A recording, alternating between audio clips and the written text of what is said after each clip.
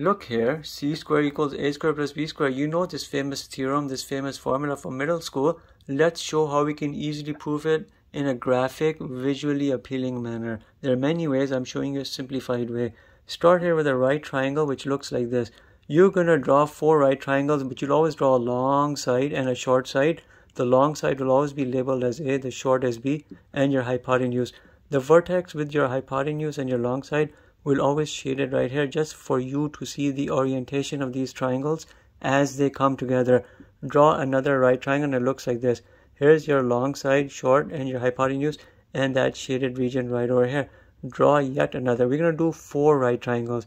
If done properly, it looks visually appealing. Here's your long, here's your short, here's your hypotenuse, here's that shaded region right over here. last one, bring it right over here.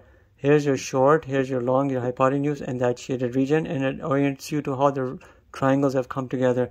Incidentally, what happens is a square forms in between, and the area of that is a c square but you're focusing now on this outer edge and the four outer edges generate a square and they look like this now this triangle right here stays as is and I'm going to draw it for you right here here's B here's A I'm not going to draw any more hypotenuses but you see where they are this triangle will pivot around this point and it'll come flush against that when it does that you're looking at something which looks like this B and A this triangle stays where it is and you're seeing it now here.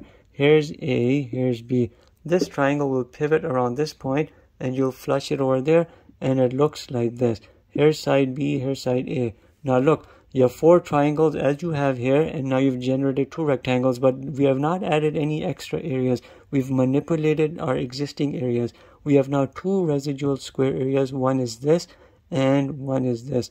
If this right here is A, this here is A. If this here is A, this here must be A. The area here is an A square. You see this B, it's that B. And then you're obviously looking at B and this right here is B square. Focus only on these incidental residual areas. You have one which is the C square.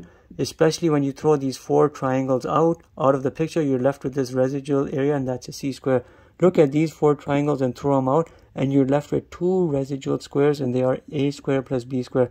Once you undergo this manipulation, you're left with two sets of residual areas which must be equal to each other because we never added anything. We only manipulated our triangles and we looked at what remained after we threw those triangles out. On one side we have c square, on the other side we have what remains a square plus b square and the theorem has been proven.